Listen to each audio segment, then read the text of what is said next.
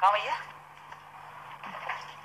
मैं पचास पचास बार बोल रहे हैं, पढ़ने लिखने वाले छात्रों को राजनीति से दूर रहना चाहिए। पढ़ाई लिखाई में ध्यान लगाओ आई बनो और देश को संभालो। लेकिन नहीं, ये और सब